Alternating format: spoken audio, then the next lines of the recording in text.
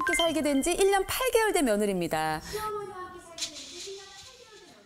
집안일을 도와주시는 시어머니께 정말 감사하고 잘해드려야겠다는 마음이 생기다가도 남편 편을 드는 모습을 볼 때면 남편 편을 드는 모습을 볼 때면 역시 팔은 안으로 굽는구나 하는 마음이 들어서 시어머니가 밉기도 합니다. 라고 보내주셨어요.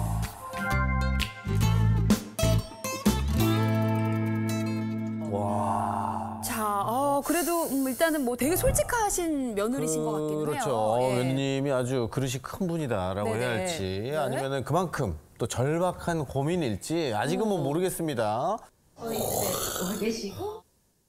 혹시 어디 네. 계십니까? 어, 저 뒤에 뒤에 계십니다. 어, 박수로 한번. 네. 아 근데 남편분 없이 진짜 딱 두 분만 나오신 거 보면 네.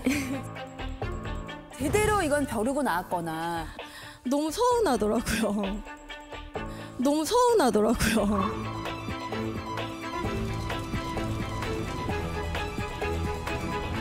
저는 되게 신기한 게 이런 얘기를 사실 시어머니 앞에서 할 수 있다는 게 사실 저는 좀 놀랍기도 하거든요. 네.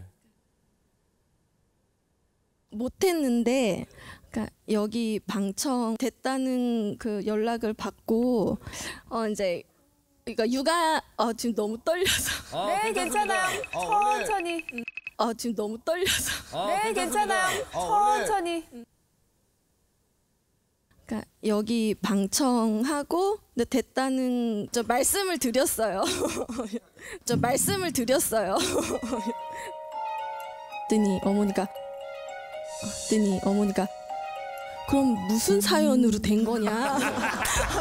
낚였어, 낚였어. 재밌구나. 아주 이 프로가 재밌는 프로예요 이거. 야, 이 드라마 이 드라마 재밌다. 내가 알고는 가야 되지 않겠냐? 내가 알고 알고 갔지, 그럼. 그렇지, 그렇지. 그래서 거기서 저 말씀을 드렸어요. 솔직하게. 네, 말씀을 드렸어요. 어. 이제 아이가 이제 점점 커가면서 제가 너무 힘에 부치는 거예요. 네, 네, 그래서 네. 이제 같이 이제 합치게 됐는데 이제 제가 새쌍둥이를 낳았거든요. 새쌍둥이를 낳았거든요. 이제 주말에 이제 남편이 남편이 남편이 어머니가 계시면은 정말 한없이 늘어져 있어요. 네. 소파와 한 몸이 되어 있고 치즈처럼.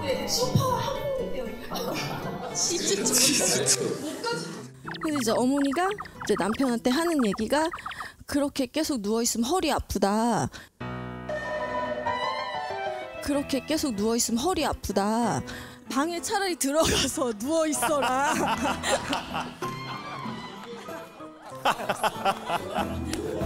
아, 이, 이게 이게 버튼인 것 같은데요, 개인적으로. 저는 그때까지 밥도 못 먹고 애들 계속 보느라고 예. 그렇죠. 예. 그냥 어머니가 그냥 아들한테 그만 좀 자. 애들 좀 봐. 그 그렇게 예, 해주기를 기대를 했는데 그렇죠. 대부분 그걸 이제 예상을 하는데. 음, 어, 들어가서 자라고 하니까 당황하기도 하고. 네. 응, 그거는 응, 그거는 이제 아들이 허리가 굉장히 안 좋거든요. 그러면 항상 제가 얘기하거든요. 너는 잠을 자려면 들어가서 자지 비싸게 누워 있으면 허리가 항상 더 아프고 안 좋으니까 그 소리를 이제 한 건데 또 며느리 입장에서는 이제 서운하게 들렸나 봐요. 그런데 저 마인드가 그래요. 내가 뭐 어른이 어른이니까 꼭 어른 노릇을 해야 되겠다 이런 마인드는 아예 그냥 얘하고 살림을 합칠 때부터 없애버리고 따라가 줄 뿐이지 내 주장을 내세우면은 시끄러워서 안 돼요. 절대로 안 돼요.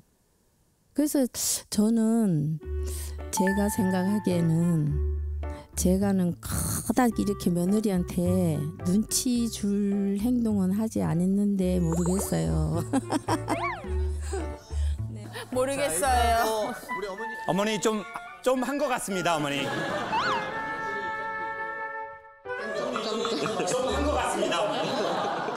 사실 저는 궁금한 게 어른 입장에서도 같이 육아하면 좀 불편한 게 있을 것 같거든요. 그렇죠, 그렇죠. 아 이제 처음에 이제 애들이 다 미숙아로 태어났으니까 모유를 먹여야 되는데 뭐 어느 날 갑자기 왔더니 그 냉동시킨 모유를 다 버리고 없는 거예요. 오, 그래서 나는 내 생각에는 아우 애들 또 미숙아로 태어나고 했으니까 저 모유를 꼭 먹여야 되는데 모유를 다 버리고 없네 속으로 그렇게 생각하고 아들한테 이제 또 얘, 얘기를 했더니 아들은 엄마 그거는 영애가 힘드니까 그냥 놔두라고 이러는 거예요. 그래서 그냥 그거는 그냥 넘어갔어요. 음, 넘어갔는데 요즘에는 뭐 인터넷이 박사라고 네. 시어머니 말은 뭐 듣지도 않고 나도 또 굳이 굳이 내가 내 어머니 아까랑 분위기가 많이 달라지셨네요. 아까는 내가 어른이니까 우리 며느리를 예, 이제 어머니 계속 해 주십시오. 정말 어떻게 될지 너무 궁금합니다, 어머니. 네. 나름 쌓인 게 네, 있으셔. 어, 있어, 있죠, 쌓인 게 있으셔. 네. 모유 수유도 이거 모유도요 몰랐어요 저. 근데 남편이 다 저한테 얘기를 하는 거예요. 어, 엄마가 이랬다. 이, 엄마가 나한테 이런 얘기를 했다. 그러니까 자꾸 들으니 그거를 들으니까요. 어머니 얘기 하지 말라 그랬어요. 아 남편을 족쇄 남편이- 아니 족쇄. 지금 계속 이런 식으로 갈등이 생기면 또 새로운 시어머니가 생길 것 같거든요.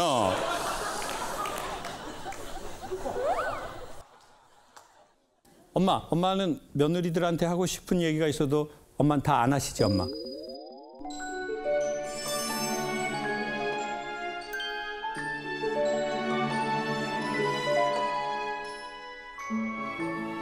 하고 싶은 얘기도 없어? 아, 이, 이 자세. 아, 어머니, 아, 이, 이 자세.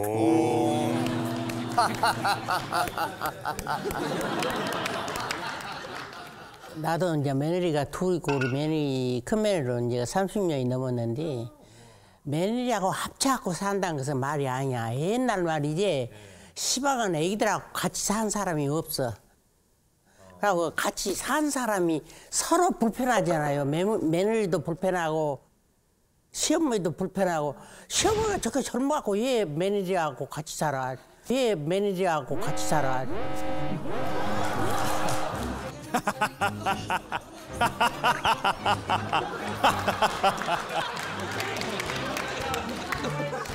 어머니, 제가 대신 사과의 말씀 드리도록 하겠습니다. 아, 시방은 며느리하고 산 사람이 없다고 그러니까. 엄마, 이제 말을 그만해야 될 것 같아요, 엄마. 아이 셋을 봐주신다라는 건 아기가 새 쌍둥이여가지고. 아, 세 쌍둥이나 네 쌍둥이. 어, 어, 어머니, 어머니, 저 엄마, 엄마, 엄마. 돈 마시면 다. 어, 어, 어 머니, 어머니, 저 엄마, 엄마, 엄마. 엄마 말을 조금만 이렇게.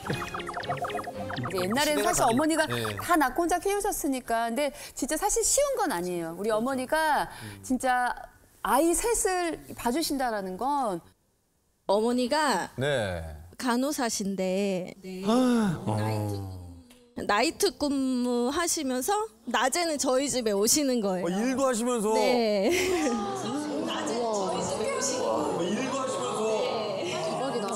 네. 아니 그러면 친정 엄마보다 사실은 더 네. 진짜 우리 엄마처럼 애를 봐주신 맞아요. 거잖아요. 네, 네. 아.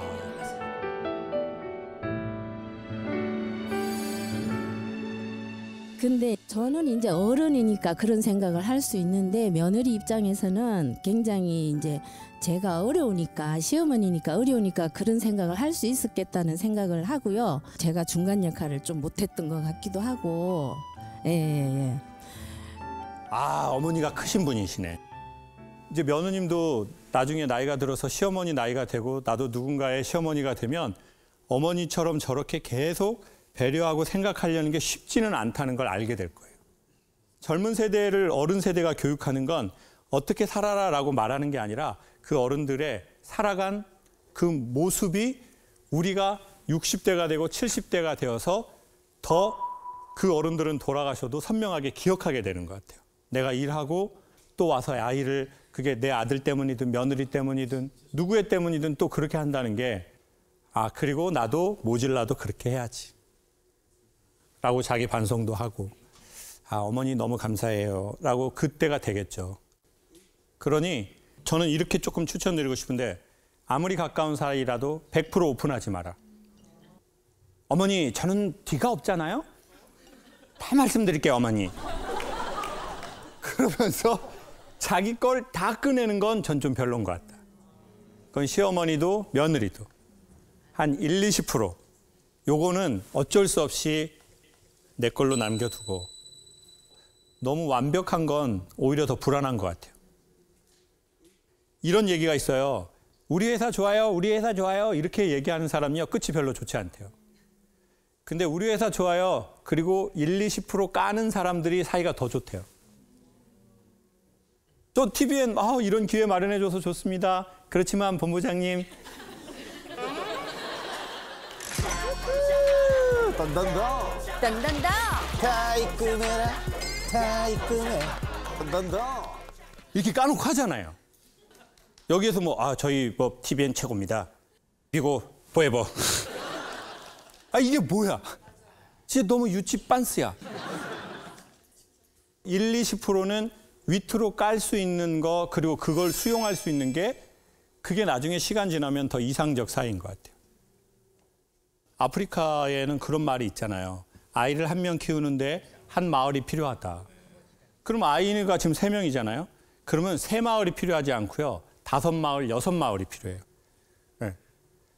근데 며느님하고 엄마하고 이걸 둘이 막 이렇게 하시는 거잖아요. 그러면 여기에 가해지는 이 압력이라는 건 진짜 어마어마하거든요. 진짜 어마어마합니다. 다 아시겠지만 대한민국은 아이를 낳기 어려운 환경이 점점 처해져서 사람들이 결혼을 안 할 마음이 생기고 결혼을 해도 아이를 낳지 않거나 못하는 상황들이 생기고 있습니다. 이런 와중에 우리가 의도를 했건 의도하지 않았건 아이를 세 명을 키우신 건 진짜 대통령을 대신해 감사의 말씀을 아유, 뭐 박수 한번 주시죠.